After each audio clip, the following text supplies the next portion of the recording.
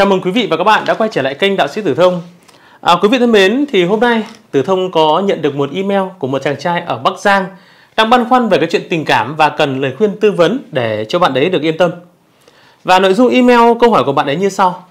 À, thưa đạo sĩ Tử Thông, cháu tên là Tuấn ở Bắc Giang. Cháu và gia đình cháu đã theo dõi kênh của đạo sĩ từ rất lâu rồi. À, bố mẹ cháu cũng thường khen đạo sĩ nói hay và chuẩn. Cảm ơn bạn nhé. À, cháu rất cảm ơn những cái chia sẻ của đạo sĩ. Và ngày hôm nay cháu cũng có một câu hỏi mong được đạo sĩ giải đáp giúp cháu với ạ.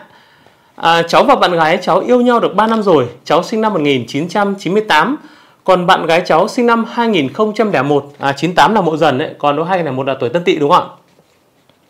À, thì tuần trước cháu và bạn gái cháu có về gia đình bạn gái ở Phú Thọ để xin phép cưới hỏi trước đó. Nếu mà ổn ấy thì cháu sẽ báo với gia đình nhà mình. À, tuy nhiên à, khi mà mẹ bạn gái biết tuổi của cháu thì bà nói là hai đứa tuổi không hợp. Bà lo ngại nếu mà chúng cháu kết hôn với nhau ấy thì hạnh phúc sẽ khó được bền vững và dễ xảy ra cái chuyện chia tay. Vì các cụ nói là gì? Dần thân tị hợi tứ hành xung. Và cái điều này khiến cháu vô cùng buồn bã. À, cháu không biết phải làm thế nào để thuyết phục gia đình bạn gái và cũng lo lắng về vấn đề này.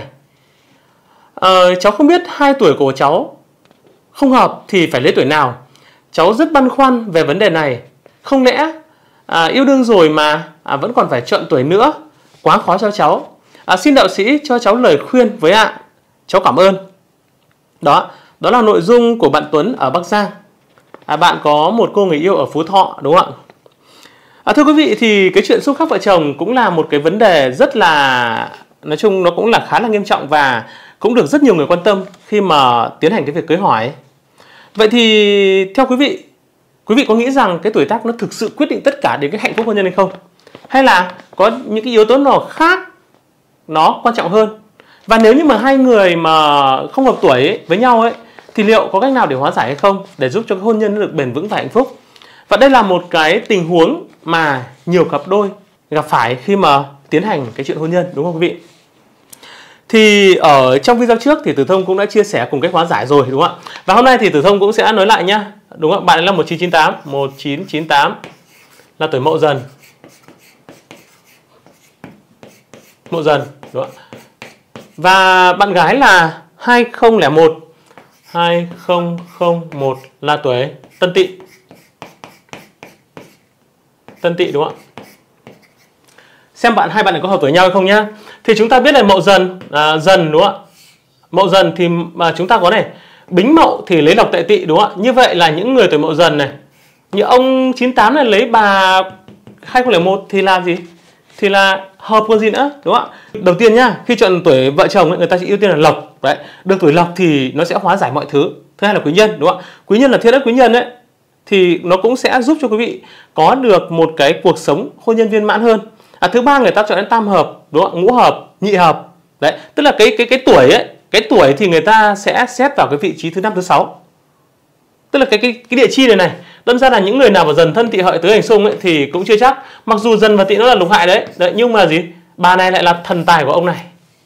Vậy nên cũng khá là tốt. Vậy nên là ai nói rằng là gì? Mậu dần và tân tị không lấy được nhau thì các bạn hãy hãy xem lại nhé cặp này cứ cưới đi đẹp. Tử thơm nói đẹp là đẹp quý vị nhé yên tâm à, thưa quý vị đấy thì bạn tuấn nhé bạn tuấn ở bắc giang thì bạn có thể là yên tâm nhé yên tâm. Đấy khuyến khích bảo là thầy tử thông có nói là tuổi này 98 mậu dần thì mậu lấy lộc của tỵ đúng không ạ? Thì vị trí là vợ thì là lộc của chồng vậy là ngon rồi cưới thì còn gì nữa? Còn trong trường hợp mà hai bạn lấy về nhau về thì mặc dù nó bị cục diện là dần và tỵ là lục hại đấy nói xung khác thì quý vị cũng sẽ có cách hóa giải mà tử thông cũng sẽ chia sẻ ngay sau đây của quý vị à, đó là gì? Quý vị có thể là trường hợp là cũng có thể là chọn cái năm đẻ con nó hợp tuổi bố mẹ cũng như có thể là gì? À, chọn cái cách để nhận con nuôi hay là gì? À, đặt những con vật phong thủy ở trong nhà vân vân. Thì cách đó à, tử thông cũng sẽ chia sẻ quý vị ở cái nội dung tiếp theo nhé. À, thưa quý vị nói chung ấy để tránh cái tình trạng mà chọn tuổi nó không hợp trong chuyện yêu đương ấy thì trong chương trình ngày hôm nay tử thông cũng sẽ giúp các bạn à, phân tích sâu hơn về các tuổi tác trong phong thủy trong hôn nhân. À, xem những cái yếu tố nào cần phải chú ý và giải pháp ra sao khi mà gặp phải cái vấn đề không hợp tuổi. À, và quý vị cũng đã bao giờ tự hỏi rằng là là là là là gì? À, tại sao mà trên đời này lại có những cái cặp đôi cứ yêu đương nhau thì gặp hạnh phúc. Và đôi khi ấy nhưng mà đến lúc lấy vợ lấy chồng tức là đến kết hôn rồi ở với nhau rồi thì xảy ra những cái đại họa những cái đen đủi. À, có người còn phải chịu cái cảnh là gì? Quá vợ quá chồng tức là tan đàn xẻ nghé đấy, âm dương cách biệt và trong phong thủy học thì họ cho rằng tuổi hai vợ chồng cũng sẽ có ảnh hưởng lớn đến cái tương lai đến cái hạnh phúc của gia đình khi mà kết hôn. Bởi vậy nên là các cặp đôi ấy, muốn kết hôn trước thì à, cũng phải trải qua các bước. Ví dụ như là chọn xem tuổi đầu tiên hợp tuổi hay không đã. Đó sau đó xem ngày cưới chọn giờ tốt sao cho nó được phù hợp. Và cái bạn Tuấn thì mắc ngay ở cái khâu đầu tiên là gì? Tuổi bị xung khắc không cưới được nhau. Đúng không ạ? À, và theo phân tích của tử thông ấy thì chúng ta sẽ có 15 cặp đôi cực kỳ hoàn hảo khi mà kết hợp với nhau. Những cặp đôi này thì khi lấy nhau sẽ được thần tài ban lộc, thuận lợi đủ đường từ kinh tế đến con cái đến cái sự hợp tác làm ăn. Vậy thì đó là những con giáp nào? Xin mời quý vị và các bạn cùng lắng nghe để biết được tuổi mình hợp tuổi nào. Và nếu như quý vị lấy được đúng cái tuổi mà mình mà mình ờ, đã giới thiệu ở trong video ngày hôm nay ấy, thì quý vị có thể comment bên dưới để cho mọi người biết là cái hạnh phúc gia đình của quý vị quý vị nhé à, thưa quý vị cặp con giáp đầu tiên mà tử thông muốn chia sẻ ấy, đó chính là à, chồng tuổi thìn và vợ tuổi tý hoặc chồng tuổi tý vợ tuổi thìn. Đó. À, những người tuổi tý lấy tuổi thìn thì rất là hợp được cục, uh, cục diện tam hợp là thân tý thìn đúng không ạ? À, những người tuổi thìn và những người tuổi tý khi kết hợp với nhau ấy, thì sẽ có một cái mối quan hệ hài hòa và bổ trợ lẫn nhau. À, trong công việc lẫn trong cuộc sống thì đều được viên mãn. Nói chung cả hai cũng không chỉ là những người bạn đồng hành mà còn là quý nhân giúp đỡ lẫn nhau à, giúp nhau phát triển và đạt được những thành công lớn. À, khi mà cùng nhau xây dựng cái mái ấm gia đình thì họ sẽ tạo nên một cái môi trường hạnh phúc ổn định và vững chắc. Cái sự kết hợp này không chỉ mang lại cái sự thịnh vượng về cái mặt tài chính mà còn à, có thể là gì? Cải thiện cái sức khỏe tạo ra một cái môi trường sống khỏe mạnh an lành. À, hai con giáp này thường có cái sự đồng điệu về cái quan điểm và cái tư tưởng. Họ giúp cho họ dễ dàng thấu hiểu và chia sẻ với nhau mọi vấn đề à, với những gia đình mà được hình thành từ cái sự kết hợp giữa những người tuổi tý và tuổi thìn thì thường được cho là sẽ có cuộc sống được thịnh vượng giàu có và đạt được cái sự trường thọ. Cái sự tương trợ lẫn nhau giữa hai cái tuổi này cũng sẽ giúp cho họ vượt qua những khó khăn và cái thử thách mang lại nhiều cái may mắn và thành công trong cuộc sống cũng như là trong công việc gia đình đúng không ạ?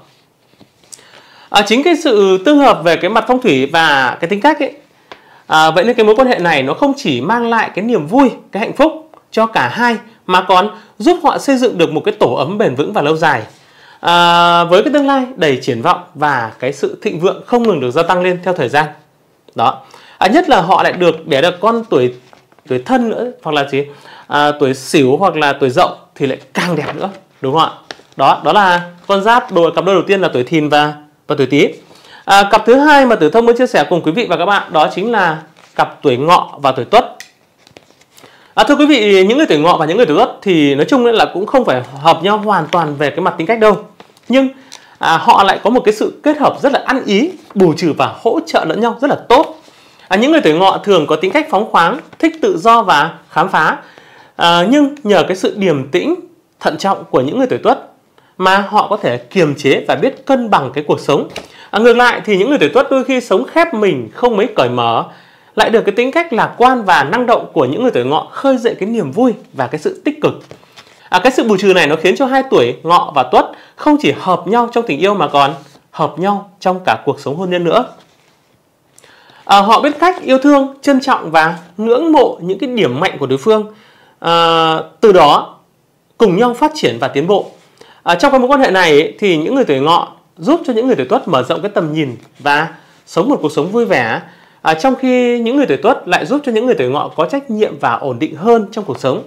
Nhờ cái sự kết hợp hài hòa này mà gia đình của các cặp đôi tuổi ngọ và tuổi tuất ấy luôn ngập tràn cái niềm vui và tiếng cười hạnh phúc. Họ không chỉ xây dựng được một cái tổ ấm vững chắc mà còn cùng nhau tạo dựng được một cuộc sống hôn nhân đầy tình yêu thương, đồng lòng vượt qua mọi thử thách khó khăn và hưởng một cuộc sống giàu sang phú quý quý vị nhé. Đó là cặp đôi thứ hai. Thứ ba, đó là cặp Mão và Tuất. À, thưa quý vị, mặc dù các cụ vẫn có câu là gì? Cãi nhau như chó với mèo đúng không ạ? Nhưng trên thực tế thì những người tuổi Tuất à, và những người tuổi Mão lại rất là hợp nhau trong hôn nhân. À, dù tính cách à, của họ có phần là khác biệt, đôi khi dẫn đến cái sự tranh cãi nho nhỏ, nhưng chính cái sự khác biệt đó đã tạo ra cái điều thu hút bổ sung cho đối phương. À, những người tuổi Tuất thì nổi bật với cái tính cách thẳng thắn chính trực, trong khi những người tuổi mão lại hiền lành, dịu dàng và thiện lương. À, cái sự kết hợp giữa hai tính cách này đã tạo ra một cái mối quan hệ dựa trên cái nguyên tắc là bù trừ. À, nơi mà mỗi người đều có thể mang đến những cái điểm mạnh riêng để hoàn thiện lẫn nhau. À, những người tuổi tuất sẽ đem đến cái sự chậm rãi vững chắc và trung thực giúp cho những người tuổi mão có thể cảm nhận được cái sự an toàn. Ngược lại thì cái sự nhẹ nhàng và mềm mỏng của những người tuổi mão cũng sẽ giúp cho những người tuổi tuất trở nên cân bằng mềm mại hơn trong cuộc sống. À, họ thấu hiểu và chia sẻ và luôn tôn trọng đối phương tạo nên một cái mối quan hệ vững chắc và đầy cái sự đồng cảm. À, nhờ cái sự hòa hợp này cuộc sống hôn nhân của họ thường rất là viên mãn và hạnh phúc. À, với cái sự khác biệt về tính cách nó không làm cho họ xa cách mà ngược lại lại giúp cho họ thêm yêu thương và gắn kết nhau hơn. Cái mái ấm của những người tuổi tuất và những người tuổi mão là một cái không gian hạnh phúc nơi mà cái sự tôn trọng và cái sự đồng hành luôn được đặt lên trên hàng đầu. Quý vị nhé đó là cặp thứ ba. À, tiếp theo cặp thứ tư đó chính là những người tuổi dần và những người tuổi tuất. À, thưa quý vị chồng dần vợ tuất hay là chồng tuất vợ dần ấy, thì nói chung ấy những người tuổi tuất và những người tuổi dần hợp nhau vì cả hai đều có sẵn trong mình cái tính cách cái sự nhẫn nhịn và cái khả năng thấu hiểu cái đạo lý. À, biết cách đặt mình vào vị trí của đối phương cả hai cùng chia sẻ một cái quan điểm chung. À, gia đình thì luôn ưu tiên hàng đầu đối với họ. À, chính vì thế mà cả hai người tuổi tuất và những người tuổi dần đều sẵn sàng hạ cái tôi của mình xuống để tránh xảy ra những cái mâu thuẫn quá lớn trong cuộc sống quý vị nhé. À, bên cạnh đó tình cảm giữa họ không chỉ ngọt ngào mà còn thắm thiết nữa à, mà còn được xây dựng dựa trên cái sự tôn trọng cái không gian riêng tư của nhau. Họ hiểu rằng để tình yêu được bền chặt thì mỗi người cần phải có một cái khoảng để mà nuôi dưỡng cái cảm xúc và cái suy nghĩ riêng. Cái điều này giúp cho cái tình cảm của họ không bị gò bó mà ngược lại à, luôn được mới mẻ và sâu sắc theo thời gian. À, trong gia đình thì cả hai luôn dành thời gian để chăm sóc và vun đắp cái tình cảm. Những người tuổi tuất và những người tuổi dần đều hiểu rằng cái hạnh phúc nói chung ấy cần phải được nuôi dưỡng hàng ngày từ những cái hành động nhỏ bé đến à, cái sự là à, gắn kết với nhau. À, nhờ cái sự chăm chút nỗ lực của cả hai mà cái tổ ấm của họ luôn tràn đầy cái hạnh phúc và gắn kết. À, nói chung ấy ở cái sự kết hợp giữa người tuổi tuất và những người tuổi dần là một cái sự kết hợp hoàn hảo tuyệt vời tạo nên một cái mái ấm bền vững à, nơi mà cả hai đều tìm thấy cái niềm vui và cái sự bình yên cho nhau đó hơn nữa cái bộ tam hợp dần ngọ tuất nó cũng là một cái bộ khá là tốt đấy nó cũng sẽ mang lại cho quý vị một cuộc sống bình an hạnh phúc đến già à, tiếp theo cặp thứ năm mà tử thông muốn chia sẻ cùng quý vị và các bạn đó chính là những người tuổi tỵ và những người tuổi thân À, thưa quý vị, nói chung các cụ có câu là dần thân tỵ hệ tứ hình xung thì ai cũng nghĩ tỵ và thân là xung đúng không ạ? Không phải. À, tỵ và thân nó là được cái bộ, bộ cục diện là lục hợp. Vậy nên những người tuổi tỵ và những người tuổi thân là một cặp đôi khá mà hợp nhau trong tình yêu và trong hôn nhân bởi họ luôn dành cho nhau cái sự yêu thương, ngưỡng mộ và cái sự kính trọng. Cả hai đều chia sẻ chung một cái quan điểm quan trọng. Gia đình chính là cái nền tảng của cuộc sống. À, chính vì vậy mà những người tuổi tỵ thì luôn cảm thấy thoải mái và hài lòng với cái mối quan hệ này. À, trong khi những người chồng tuổi thân lại luôn à, nhận được cái sự quan tâm và chăm sóc chu đáo. Những người tuổi tỵ nổi tiếng là những người trung tình, khéo léo và quyến rũ khiến cho họ có sức hấp dẫn lớn đối với những người khác giới. À, trong số những cái đối tượng à, phù hợp ấy thì tuổi thân lại nổi bật như là à, một người bạn đời lý tưởng. Cái sự khôn khéo và tinh tế của những người tuổi tỵ cũng sẽ giúp à, cho họ giữ vững cái tình cảm. À, trong khi cái sự nhiệt tình và cái trách nhiệm của những người tuổi thân là cái yếu tố quan trọng giúp họ xây dựng được một cái tổ ấm bền vững quý vị nhé. À, những người tuổi thân không chỉ đảm đương cái vai trò trong gia đình mà còn luôn mang lại cái sự vui vẻ tích cực và tạo ra một cái không gian sống hạnh phúc và hài hòa. À, cái sự hòa hợp giữa những người tuổi tỵ và những người tuổi thân không chỉ nằm ở cái sự thu hút lẫn nhau mà còn ở cái việc là họ biết cách vun đắp chăm sóc cho cái gia đình à, giúp cho cái mối quan hệ ngày càng gắn kết và bền chặt hơn. À, chính nhờ cái sự kết hợp này mà họ sẽ xây dựng được một cái máy ấm gia đình hạnh phúc tràn đầy yêu thương và cái sự thấu hiểu quý vị nhé. Đó là cặp tỵ thân. À, tiếp theo một cặp nữa đó là cặp dần hợi dần thân tỵ hợi tứ hành xung đúng không ạ? Dần và hợi thì ai cũng nghĩ là nó không tốt. Thế nhưng à, theo tử thông ấy, thì dần và hợi là cái cặp đôi lục hợp nó rất là tốt. À, dần và hợi là cặp đôi phù hợp trong chuyện hôn nhân bởi họ thuộc nhóm địa chi lục hợp. À, những người tuổi dần thường được biết đến với cái sự thông minh can đảm và cái tính cách phiêu lưu. Họ luôn bị kích thích bởi những cái thách thức nguy hiểm và không bao giờ chấp nhận thất bại. Ngay cả khi gặp khó khăn ấy thì họ cũng đứng dậy để tiếp tục theo đuổi những cái mục tiêu mạnh mẽ hơn. À, tuy nhiên, do cái khả năng nổi bật, những người tuổi dần dễ sinh ra cái tâm lý tự phụ, cái điều này nó có thể khiến những người khác ganh ghét và cần một à, cái người đối lập để họ có thể kiềm chế những cái tính cách tiêu cực đó. À, trái lại thì những người tuổi hợi thì thường là những người hiền lành à, tâm thiện và luôn sống hòa nhã được nhiều người yêu quý. Nếu những người tuổi dần đã kết hôn với những người tuổi hợi sẽ là một cái sự kết hợp đầy may mắn và hạnh phúc à, sự dịu dàng và vui vẻ của những người tuổi hợi sẽ giúp làm dịu đi cái tính nóng nảy và quá mạnh mẽ của những người tuổi dần. À, tạo ra một cái môi trường gia đình êm ấm nơi mà xung đột nó không còn có cơ hội à, để nó phát sinh nữa. Ngược lại thì cái sự mềm mỏng của những người tuổi hợi cũng sẽ được bổ sung bởi cái tính quyết đoán của những người tuổi dần.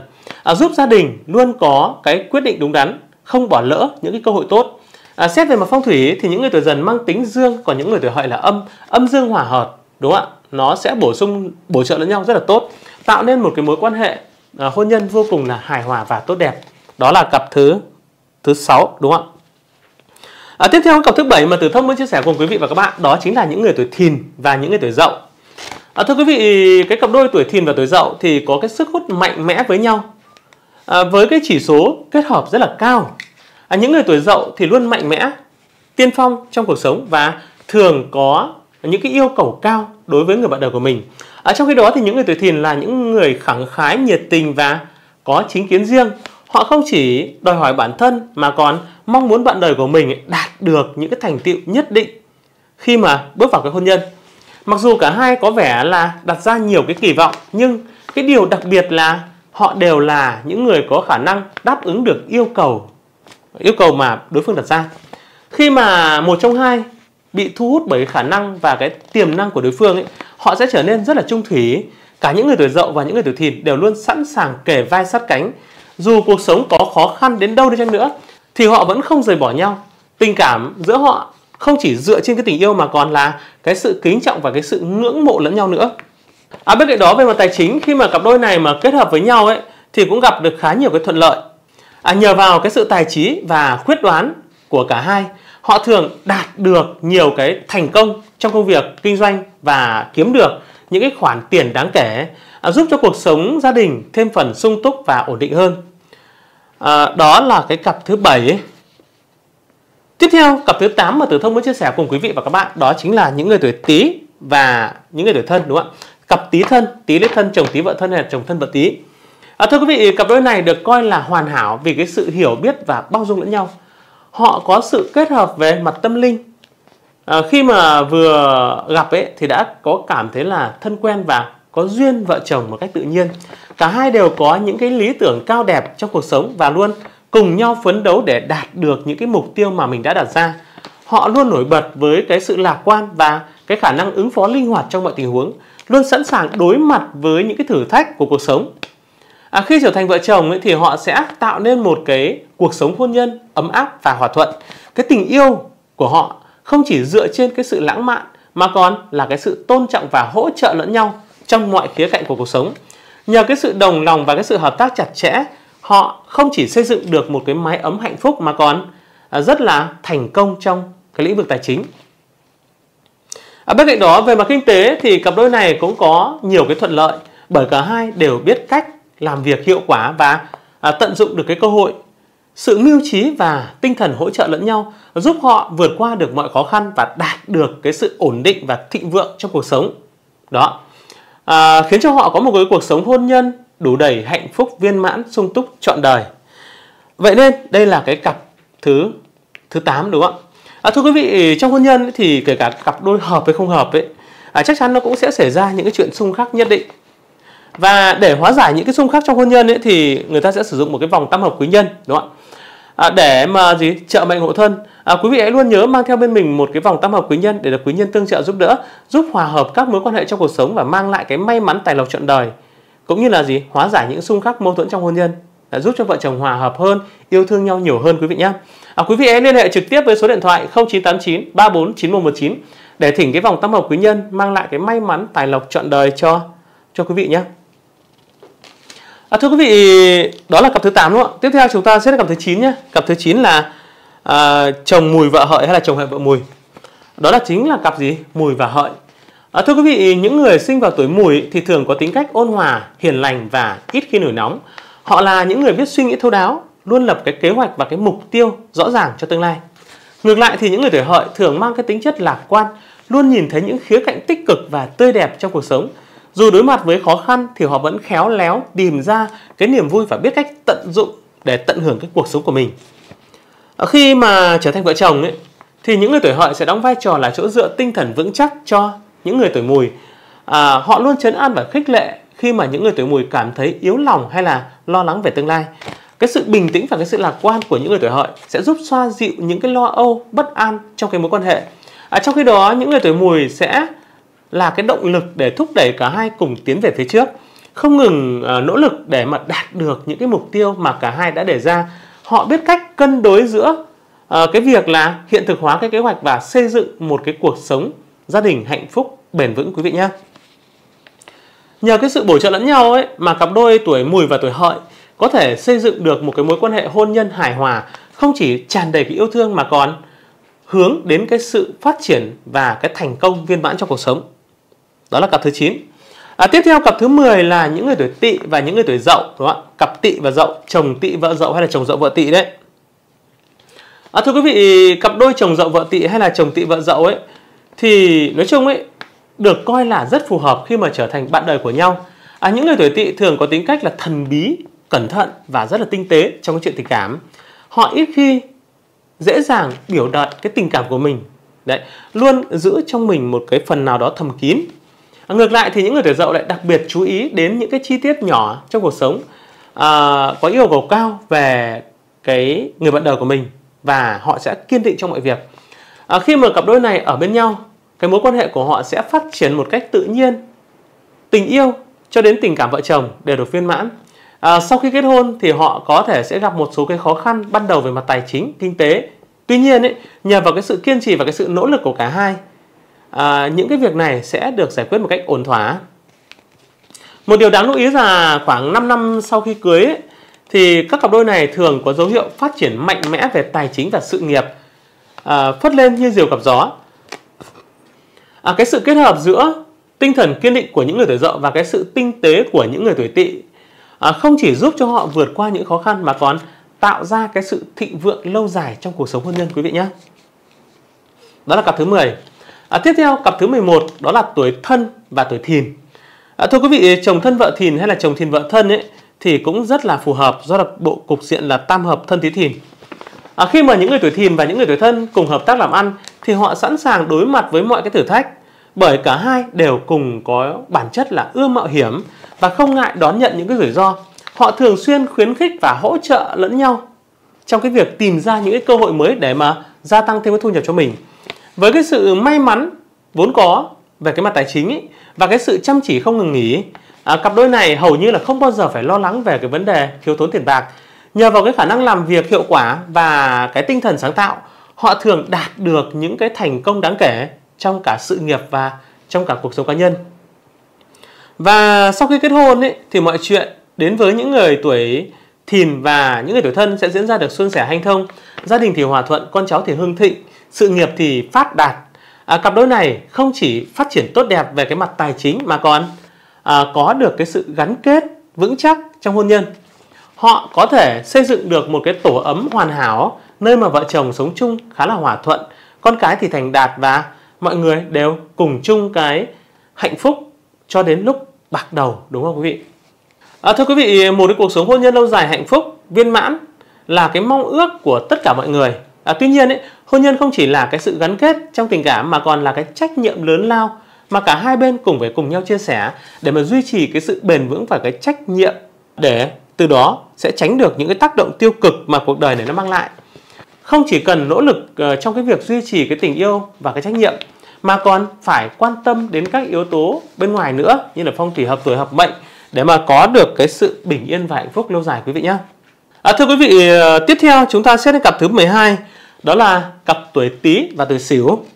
À, thưa quý vị, những người tuổi Tý nổi bật với cái tính cách là linh hoạt, năng động và luôn làm việc với cái tinh thần trách nhiệm cao và họ là những người có cái tinh thần sáng tạo. Đó. Họ thường có tư duy nhạy bén và cái khả năng thích ứng cao với nhiều cái tình huống. À, trong khi đó những người tuổi Sửu lại là những người biết đến với cái sự chân thành và đôn hậu và luôn nỗ lực hết mình trong công việc. Cái sự chăm chỉ, cái sự kiên định và cái lòng trung thành của những người tuổi Sửu ấy à, giúp cho họ trở thành một cái đối tác tin cậy trong mọi các hoạt động từ công việc đến cuộc sống cá nhân. À, thưa quý vị, à, khi mà những người tuổi Tý và những người tuổi Sửu kết hợp với nhau ấy, thì trong phong thủy đó là cục diện gì? Lục hợp hay là nhị hợp đấy lại được tam hội hợi tý sửu nữa vậy nên khi tuổi tý và tuổi sửu kết hợp với nhau ấy, thì họ sẽ tạo nên một cặp đôi hoàn hảo trong công việc lẫn trong cuộc sống cái tính cách của họ bổ sung lẫn nhau một cách là tự nhiên giúp cả hai cùng phát triển và hoàn thiện bản thân những người tuổi tý với cái sự linh hoạt sẽ đưa ra những cái ý tưởng sáng tạo trong khi những người tuổi sửu với cái tinh thần kiên trì sẽ đảm bảo rằng những cái ý tưởng đó được thực hiện một cách bền vững và hiệu quả. Nhờ đó mà họ có thể dễ dàng đạt được những cái thành công và vượt qua mọi khó khăn mọi cái thử thách trong cuộc sống và công việc. Đồng thời cùng nhau đạt được những cái thành công lớn hơn trên nhiều cái phương diện của cuộc sống. À, cặp đôi này không chỉ là cái đối tác lý tưởng của nhau trong công việc sự tương trợ lẫn nhau của các cặp đôi tuổi Tý và tuổi Sửu ấy còn tạo ra một cái nền tảng cho một cái cuộc hôn nhân được bền vững và hạnh phúc. Cái sự kết hợp của họ mang lại cái cảm giác ổn định, an toàn và thấu hiểu. Những người tuổi Tý sẽ cảm nhận được cái sự ủng hộ vững chắc từ những người bạn đời tuổi Sửu, trong khi những người tuổi Sửu lại cảm thấy được truyền cảm hứng và cái động lực từ cái sự nhanh nhẹn và cái sự tinh tế của những người tuổi Tý. Cả hai đều dường như ấy, không thể thiếu đối phương trong cái cuộc sống của mình. Vì mỗi người đều là cái mảnh ghép hoàn hảo giúp cuộc sống của họ trở nên trọn vẹn hơn. Chính cái sự thấu hiểu và cái sự hỗ trợ lẫn nhau cũng sẽ giúp cho cái mối quan hệ này nó trở nên bền chặt hạnh phúc lâu dài quý vị nhé à, tiếp theo cặp thứ 13 mà Tử Thông muốn chia sẻ cùng quý vị và các bạn đó chính là tuổi Mão và tuổi Mùi. À, thưa quý vị cặp Mão Mùi thì được cục diện tam hợp là hợi Mão Mùi đúng không ạ? Những người tuổi Mùi thì thường được biết đến với cái tính cách là chu toàn cẩn thận trong mọi việc. À, tuy nhiên ấy, thì họ có một cái điểm yếu là đôi khi thích dựa dẫm vào người khác nhất là trong những lúc mà cảm thấy thiếu tự tin hoặc là khó khăn. À, đối với những cái người tuổi mùi ấy cái điều này nó không hẳn là cái nhược điểm lớn. Đấy. À, bởi có một cái người bạn đời hiểu và hỗ trợ họ sẽ phát huy được tốt cái tiềm năng của mình à, bạn đời tuổi mão là một cái lựa chọn lý tưởng trong cái trường hợp này bởi họ là những người rất là tâm lý luôn thích cái sự chăm sóc lo lắng cho người khác đặc biệt là những người mà họ thương yêu. À, những người tuổi mão có bản chất là nhạy cảm thấu hiểu và biết cách chiều chuộng cái người bạn đời của mình. Họ luôn sẵn sàng lắng nghe hỗ trợ cho những người tuổi mùi trong mọi cái tình huống. À, khi gặp đôi tuổi mùi và tuổi mão ở bên nhau ấy thì họ sẽ tạo nên một cái mối quan hệ rất là hòa hợp đặc biệt là về mặt tình cảm cái sự chu đáo của những người tuổi mão và cái nhu cầu được quan tâm của những người tuổi mùi sẽ hòa quyện giúp tình yêu của họ trở nên sâu sắc và bền chặt hơn theo thời gian. Họ còn là những cái người bạn đồng hành thấu hiểu lẫn nhau trong mọi khía cạnh của cuộc sống. À, không những vậy về mặt kinh tế thì cặp đôi này cũng không gặp nhiều cái khó khăn. Những người tuổi mão không chỉ biết chăm sóc cái cảm xúc mà còn rất là nhạy bén trong cái việc dẫn dắt tạo cái điều kiện cho những người tuổi mùi phát huy hết cái thế mạnh của mình. Dưới cái sự khích lệ và cái hướng dẫn của những người tuổi mão thì những người tuổi mùi sẽ tự tin hơn trong công việc. Từ đó sẽ gặt hái được nhiều cái thành công mang lại cái sự thịnh vượng cho gia đình. À, sự kết hợp giữa những người tuổi mùi và những người tuổi mão không chỉ tạo ra một cái mối quan hệ hạnh phúc về mặt tình cảm mà còn là cái nền tảng cho cái sự phát triển bền vững và thành công trong tương lai vậy nên cặp đôi này là một cặp đôi cực kỳ hoàn hảo khi mà kết hợp với nhau quý vị nhé À, tiếp theo một cặp đôi nữa, cặp thứ 14 mà Tử Thông muốn chia sẻ cùng quý vị và các bạn, đó là những người tuổi ngọ và những người tuổi mùi. À, thưa quý vị, nếu mà quý vị đã theo dõi kênh Tử Thông thì quý vị biết rồi đấy, nếu mà nhất là chương trình Tử Vi ngày đúng không ạ? Thì Tử Thông luôn nói là gì? Ngọ mùi nhị hợp hay là mùi ngọ nhị hợp hoặc là tam hội tị ngọ mùi, đó. Như vậy những người tuổi mùi và những người tuổi ngọ vừa được cục diện là ngọ mùi nhị hợp lại vừa được cục diện tam hội là tị ngọ mùi nó tương trợ. Vậy nên những người tuổi ngọ ấy và những người tuổi mùi kết hợp với nhau rất là tốt À, bên cạnh đó, những người tuổi ngọ thì được biết đến với cái tính cách vui vẻ, lạc quan và không quá coi trọng cái tiểu tiết. Họ yêu thích cái sự tự do, tự tại và không thích bị ràng buộc bởi những cái quy tắc, những cái trói buộc trong cuộc sống. Cái tính cách phóng khoáng này khiến cho họ cần một người bạn đời phải biết cảm thông và hỗ trợ mình. Và những người tuổi mùi chính là cái sự lựa chọn hoàn hảo. À, những người tuổi mùi có tính cách sống nội tâm chu đáo, luôn chu toàn trong mọi việc. Mặc dù hai người có cái sự khác biệt rõ rệt về cái tính cách, nhưng chính cái sự khác biệt này lại giúp cho họ bổ trợ lẫn nhau một cách là hoàn hảo. À, những người tuổi ngọ mang đến cái sự phóng khoáng, tươi mới, trong khi những người tuổi mùi lại mang lại cái sự ổn định và chăm sóc, đảm bảo mọi thứ trong gia đình được duy trì một cách tốt đẹp nhất. Chính nhờ cái sự kết hợp này mà nhiều cặp vợ chồng tuổi ngọ mùi đã sống rất là hạnh phúc bên nhau, biết tôn trọng và thấu hiểu đối phương trong mọi cái hoàn cảnh, mọi tình huống. Họ học cách không chỉ chấp nhận mà còn tôn vinh những cái điểm mạnh của nhau. Từ đó cái mối quan hệ nó trở nên ngày càng được khăng khít và hạnh phúc hơn. À, bên cạnh đó khi mà hai người lấy nhau ấy, thì nói chung ấy nói chung là tuổi ngọ và tuổi mùi thì họ đều không đặt quá nặng về cái vấn đề tiền bạc họ không sống để theo đuổi cái vật chất mà. Thay vào đó tập trung vào cái việc xây dựng một cuộc sống thoải mái hạnh phúc. À, tuy nhiên ấy dù không quá quan trọng tiền bạc họ lại được trời ban cho những cái điều may mắn và thuận lợi trong công việc làm ăn. Nhờ vào cái sự nhạy bén của những người tuổi ngọ và cái sự chu toàn của những người tuổi mùi họ thường gặt hái được nhiều cái thành công và cái sự thịnh vượng về sau. Cuộc sống hậu vận của họ cũng gặp được nhiều cái may mắn và thường rất giàu có ổn định hạnh phúc không chỉ về mặt tài chính mà còn về cả mặt à, tinh thần nữa. À, đó là cặp thứ 14 và cặp thứ 15 mà Tử Thông muốn gửi đến cùng quý vị và các bạn đó chính là à, cặp đôi Mão và Hợi. À, thưa quý vị, Mão và Hợi được cục diện tam hợp là Hợi Mão Mùi. Hơn nữa, à, Mão Mộc lại được Hợi Thủy nó sinh cho. Vậy nên những người tuổi Mão và những người tuổi Hợi là một cặp đôi tương hợp rất là lý tưởng, tạo nên cái sự hòa hợp và gắn kết đặc biệt là trong cuộc sống lẫn trong công việc. À, những người tuổi mão có cái tính cách dịu nhẹ, tinh tế và nhạy bén trong cái việc xử lý cái tình huống. Họ thường biết lắng nghe và thấu hiểu người khác, mang lại cái sự an lành, êm dịu cho các mối quan hệ. Trong khi đó, những người tuổi hợi lại là những người có tính cách hiền lành rộng lượng và luôn mang cái tinh thần lạc quan, tích cực. Họ dễ dàng cảm thông và sẵn sàng chia sẻ, hỗ trợ bạn đời của mình trong mọi cái tình huống. À, cái sự kết hợp giữa người tuổi mão và những người tuổi hợi ấy tạo nên một cái mối quan hệ cân bằng và hòa hợp. Cái sự dịu dàng của những người tuổi mão sẽ giúp làm dịu đi cái sự căng thẳng trong cuộc sống. Nhờ vào cái sự khoan dung và cái ổn định của những người tuổi hợi mang lại cái nền tảng vững chắc cho cả hai. Chính cái sự hỗ trợ này họ có thể cùng nhau phát triển cái sự nghiệp và xây dựng một cuộc sống đầy đủ, thịnh vượng, hạnh phúc. Mỗi người đều đóng góp những cái điểm mạnh riêng của mình vào cái mối quan hệ khiến cho không chỉ hòa hợp về cái mặt tình cảm mà còn trong cái việc xây dựng tương lai được êm đẹp hơn. À, thưa quý vị, cặp đôi tuổi mão và tuổi hợi thường được coi là cái biểu tượng của sự thịnh vượng và hạnh phúc. Họ biết cách tận dụng cái thế mạnh của nhau để mà vượt qua mọi cái thử thách khó khăn trong cuộc sống. Với cái tinh thần đồng lòng và cái sự tương trợ lẫn nhau ấy thì cả hai đều dễ dàng đạt được những cái thành công lớn cả về mặt vật chất lẫn sự nghiệp à, cuộc sống của họ không chỉ dừng lại ở cái sự sung túc và hạnh phúc à, mà còn mở ra nhiều cái cơ hội cho cái thế hệ con cháu sau này. À, nhờ cái nền tảng vững chắc mà họ đã xây dựng con cháu của họ cũng sẽ được thừa hưởng một à, cái cuộc sống an lành giàu sang và thịnh vượng. Cái sự kết hợp giữa người tuổi mão và những người tuổi hợi không chỉ tạo nên một cuộc sống đầy đủ hạnh phúc cho chính họ mà còn đảm bảo cho các thế hệ sau một tương lai tốt đẹp hơn. À, thưa quý vị, đó là cái cặp thứ 15. À, quý vị thân mến, như vậy là Tử Thông đã vừa giải đáp cùng quý vị và các bạn về cái câu hỏi của anh Tuấn ở Bắc Giang, đúng không ạ? Bạn Tuấn ở Bắc Giang.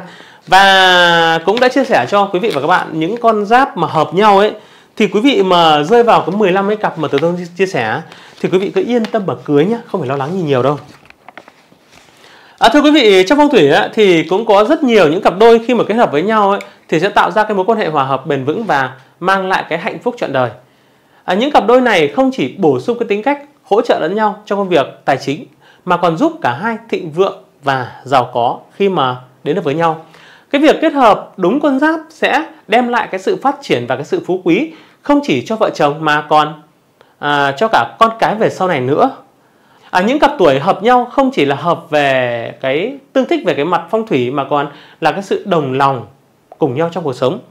Nếu các bạn muốn khám phá thêm những cái cặp quan giáp hợp nhau và tìm hiểu thêm những kiến thức về tử vi phong thủy tâm linh để giúp cho mình có được một cuộc sống là hạnh phúc trọn vẹn, giàu có thì uh, quý vị hãy đăng ký kênh Đạo sĩ Tử Thông. Đừng quên nhấn vào like và nhấn vào chuông thông báo để luôn cập nhật những video mới nhất hữu ích về phong thủy tử vi à, phục vụ cho đời sống hôn nhân hạnh phúc của quý vị à, giúp các bạn tìm ra được con đường dẫn đến thành công một cách nhanh nhất quý vị nhé. À, rất cảm ơn quý vị và các bạn đã quan tâm theo dõi. Quý vị đừng quên đăng ký kênh và nhấn vào chuông thông báo để ủng hộ cho chương trình. Còn bây giờ xin chào và hẹn gặp lại quý vị trong những video lần sau. À, xin cảm ơn.